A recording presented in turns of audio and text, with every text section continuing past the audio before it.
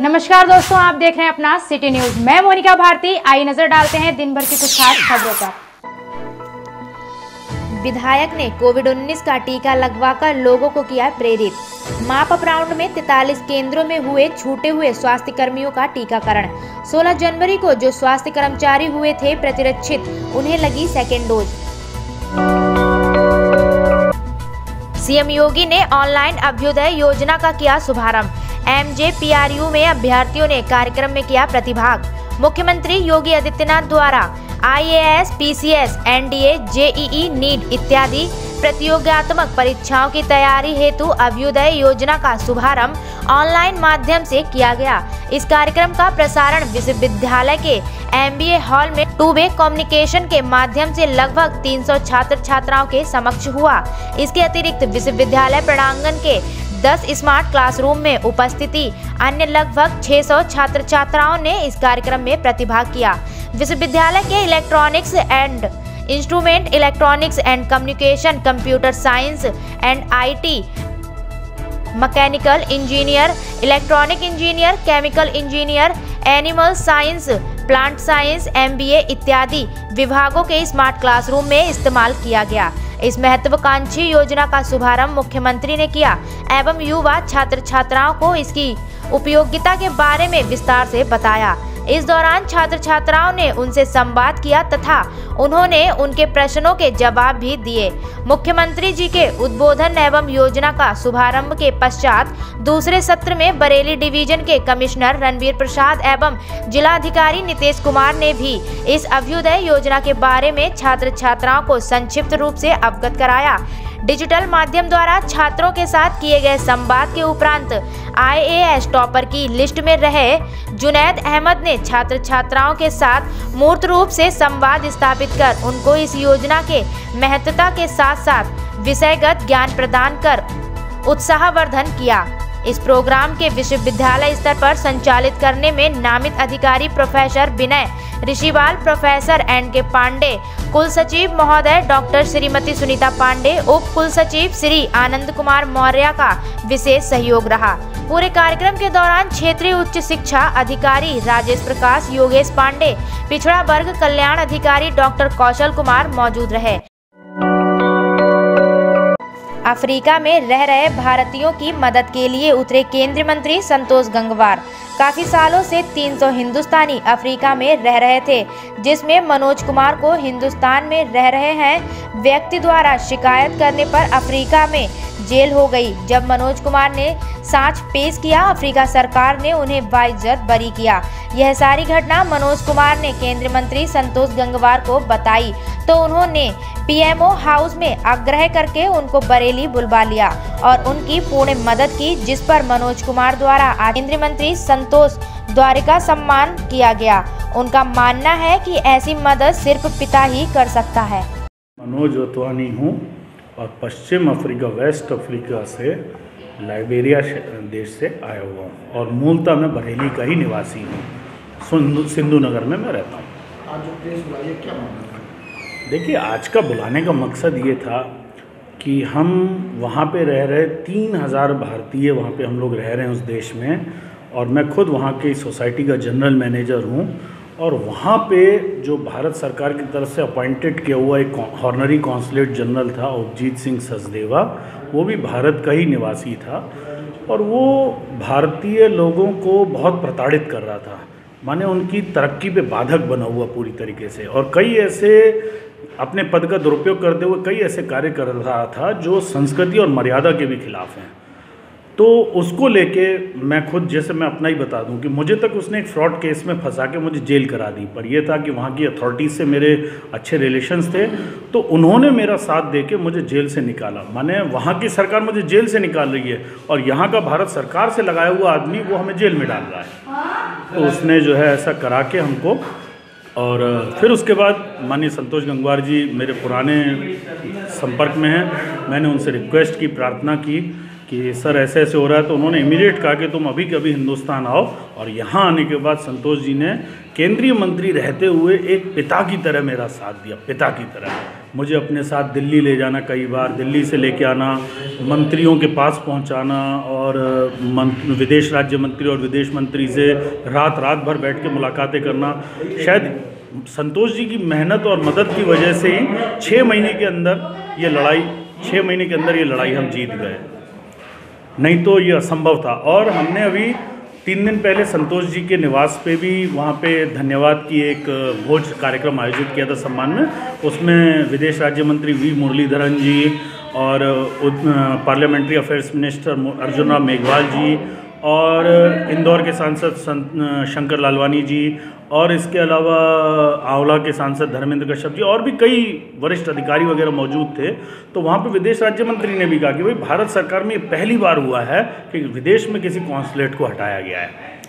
तो उसके लिए मैं समझता हूँ, हम अगर विदेश मंत्रालय के आभारी हैं, विदेश मंत्री, विदेश राज्य मंत्री के आभारी हैं, पर उससे ही बराबर में हम श्री संतोष गंगवार जी के भी आभारी हैं। उनकी मदद के बगैर ये संभव ही नहीं था हमारे जीतना। और उन्होंने मंत्री नहीं, एक पिता की तरह मेरा साथ दिया। और सबसे बड़ी बात ये, एक रुपया मेरा लगने नहीं दिया, एक रुपया कहीं नहीं लगने दिया। और उल्टा बल्कि मेरे रहने खाने पीने की चिंता करते थे वो वहाँ पर तो ये इसके लिए मैं मानूँगा कि वो मन, मैं तो यही कहूँगा मेरी नज़र में, वो मंत्री के रूप में भी संत है, जितना मैंने उसे देखा उस शख्सियत को। बरेली कॉलेज के चतुर्थ श्रेणी कर्मचारियों ने कलेक्ट्रेट पहुंचकर किया प्रदर्शन और सौंपा ज्ञापन। बरेली कॉलेज में कार्य कर रहे चतुर्थ श्रेणी कर्मचारी पिछले 42 दिन से अपनी मांगों को लेकर धरने पर बैठे हुए हैं। उनकी मुख्य मांग है कि बरेली कॉलेज को विश्वविद्यालय का दर्जा दिया जाए और जो कर्मचारी कार्य कर रहे हैं, उन्हें स्थायी किया जाए। अगर उनकी मांग नहीं मानी गई तो आगे आंदोलन करने को मजबूर होंगे। जितेंद्र मिश्रा। हम लोग लगातार बयालीस दिन से बरेली कॉलेज में एक आंदोलन चला रहे हैं और जिसकी दो मांगे हैं। पहली मांग है बरेली कॉलेज, बरेली को विश्वविद्यालय बनाया जाए और दूसरी मांग है अस्थायी कर्मचारियों को विनिमतीकरण किया जाए, जो विगत 15-20 वर्षों से कार्यरत हैं। बरेली कॉलेज, बरेली एक सौ तिरासी वर्ष पुराना है और नेक्स्ट से ए ग्रेड प्राप्त है। इसके आधार पे बहुत ऐतिहासिक कॉलेज है, इसको विश्वविद्यालय बनना चाहिए और हम लोग लगातार आंदोलित हैं।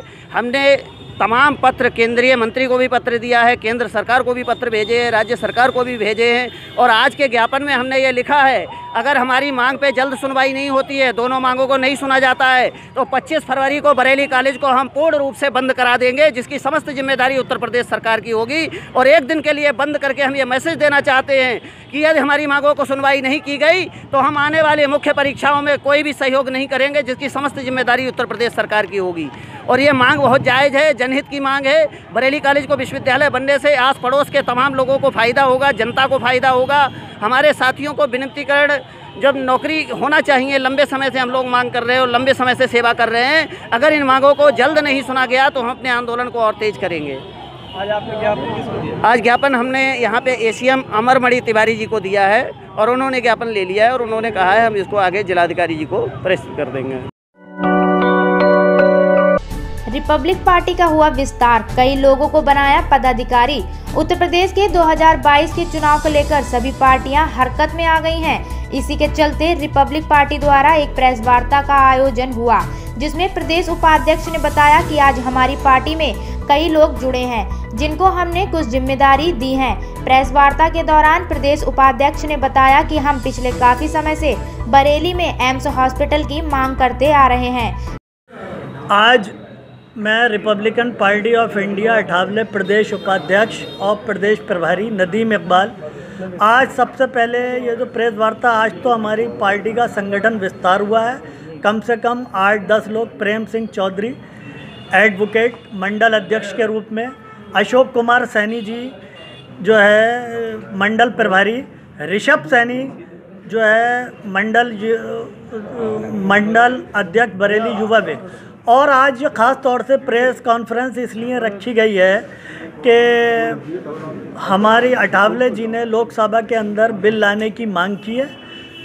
केंद्रीय और राज्य सरकारों से कि जो भूमिहीन किसी भी जाति, धर्म के हों, जब मोदी जी 140 135 करोड़ लोगों की बात करते हैं तो किसी भी धर्म जाति का हो, जो भूमिहीन वाकई में व्यक्ति है और जिसके कने भूमि नहीं है, किसान को उसे पाँच एकड़ ज़मीन, गाँव देहातों में इतनी ज़मीन फ्री पड़ी हुई है, उसे पाँच एकड़ ज़मीन फ्री में दी जाए। नंबर एक। दूसरी बात यह है कि एम्स की मांग हमने पहले भी करी थी और हम हर्षवर्धन साहब से मिले भी थे और मिलेंगे भी। और हमारी एम्स की मांग बरेली में बहुत दिन से चल रही है, चूँकि ढाई तीन सौ किलोमीटर जो है यहाँ से एम्स लखनऊ या दिल्ली में रहे अगर यहाँ से कोई मरीज़ रेफ़र करा जाता है, पहली बात तो गरीब आदमी के कने इतना पैसा नहीं होता है। दूसरी ये है कि वो ढाई तीन सौ किलोमीटर एम्स को पकड़ने के लिए पहले ही भगवान को प्यारा हो जाता है, मरीज़। उसे राहत फौरी नहीं मिल पाती है। आसपास के उत्तराखंड के लोग भी जहाँ पर एम से फ़ायदा उठा पाएँगे। नंबर तीन, ये जो Republican Party of India Ambedkar जो है रिपब्लिकन अंबेडकर साहब की स्थापना करी हुई है। इसीलिए ये गली मोहल्ले शहरों में जो अंबेडकर साहब को सीमित कर रखा है, इसीलिए हमारा कहना है या तो अंबेडकर नाम से बड़ा पार्क बनाया जाए या गांधी उगान के सामने जो है अम्बे बाबा साहब, भीमराव अंबेडकर के नाम से एक बड़ा गेट बना दिया जाए। नहीं गेट बन पाता है, वहाँ ट्रैफ़िक समस्या आएगी। तो अंदर गांधी उगान के अंदर हमें जगह कहीं अंबेडकर प्रतिमा के लिए हम कल उमेश गौतम साहब से भी एक प्रतिनिधि मंडल मिलेगा, संतोष गंगवार से भी मिलेगा और जो है मुख्यमंत्री से भी मिलने के लिए हम स्वयं जाएँगे। समय मैं मैसेज डाला हुआ है, समय कल या परसों हमें मिल सकता है। अंबेडकर गांधी उगान के अंदर कहीं पे गांधी जी के साथ में भारत रत्न भीमराव अंबेडकर जी की प्रतिमा स्थापित करने के लिए हमें जगह दी जाए और रिपब्लिकन पार्टी ऑफ़ इंडिया अपने पैसे से, अपने कने से अंबेडकर साहब की प्रतिमा वहाँ केंद्रीय मंत्री रामदास अठावले के हाथों हमारा पूरा संगठन जो है स्थापित करेगा। हम अपने पैसे से अंबेडकर प्रतिमा लगाएँगे। जय हिंद जय भारत जय अभी हमारी आपने कहा कि एक मिनट चले अभी आपने कहा कि क्या कहते हैं एम्स की स्थापना होनी चाहिए। जी। आप मौजूदा सरकार में इस समय मौजूद हैं। जी। तो आप इतने साल हो गए लगभग आठ साल होने जा रहे हैं सरकार में वो पाँच साल एक बार बन चुके तीन साल और बन चुके तो आपका अभी तक सुनवाई नहीं हुई तो आम जनता की कैसे होगी? तो आप समर्थन वापस क्यों नहीं लेते? आम जनता समर्थन वापस हम कोई समर्थन वापस लेने के लिए प्रेस का हमारी मांग है और हमारी जो है दर्जा रा, राज्य मंत्री अश्वनी कुमार चौबे से मुलाकात हुई थी और उन्होंने हाँ भी करी और के क्या केंद्रीय हर्षवर्धन से हमारा लगता है एम्स की मांग बहुत जल्दी हमारी पूरी हो जाएगी हम देखते हैं। अगर नहीं हुई तो क्या करेंगे? अगर नहीं हुई तो इसके लिए हम अनशन करेंगे मांग करेंगे यहाँ से पद यात्रा करेंगे मुख्यमंत्री साहब से मुलाकात करेंगे। 2022 में चुनाव है आगामी चुनाव में क्या आपका समर्थन रहेगा सरकार हम गठबंधन के तहत सीटों पर चुनाव लड़ेंगे। हमें कुछ सीटों की, हमने 25 सीटों की मांग करी थी गठबंधन में जो हमारी बातचीत चल रही है। और रिपब्लिकन पार्टी ऑफ़ इंडिया को कुछ सीटें माननीय मुख्यमंत्री योगी आदित्यनाथ जी ने कुछ अधिवक्ताओं ने खिचड़ी भोज करके माँ शारदे को किया प्रणाम। बसंत पंचमी से पूर्व अधिवक्ताओं ने एक खिचड़ी भोज का आयोजन किया जिसमें सभी अधिवक्ताओं ने एक साथ बैठकर खिचड़ी भोज किया। इसमें पूर्व माँ शारदे की प्रतिमा पर माल्यार्पण कर माँ शारदे को प्रणाम किया। इस मौके पर अधिवक्ताओं ने अपने विचार प्रकट करते हुए कहा।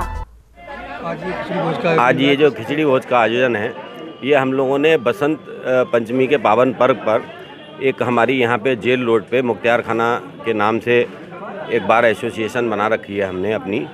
उसके माध्यम से और उसके अंतर्गत हमने आज जो है यहाँ पे खिचड़ी भोज का आयोजन करा है। बरेली ज़िले के समस्त अधिवक्ताओं को हमने इसका निमंत्रण दिया है और ये कार्यक्रम हमारा बसंत पंचमी के पावन पर्व पर हुआ है इसलिए सभी लोग इसमें आमंत्रित किए गए यही एक हमारा इसका उद्देश्य है कि ये प्रोग्राम हमारा पिछले साल हुआ था, उस समय तो बहुत छोटा सा कार्यक्रम हुआ था, लेकिन अब हमने इसे बहुत बड़े स्तर पे आयोजित करने का फैसला किया था, जो कि आज हम इसको कर रहे हैं। आज बसंत पंचमी तो कल है, लेकिन माँ शारदे की, जो कि ज्ञान की देवी हैं, और हम अधिवक्ताओं को सबसे पूज्य माँ शारदे हैं, माँ सरस्वती हैं। तो माँ सरस्वती की पूजा करके आज हम सभी लोगों ने यहाँ पर पीली तहरी का एक खिचड़ी भोज कार्यक्रम रखा था।